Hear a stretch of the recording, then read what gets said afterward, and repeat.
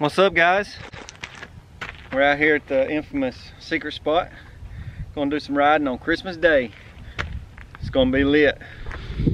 Uh, we got the bikes unloaded. We're gonna head on down this uh, gravel road out to the entry point and uh, see what we can get into. Hopefully we'll do some wheelies out here, some uh, wheelie tutorial. So that'll probably be in a separate video.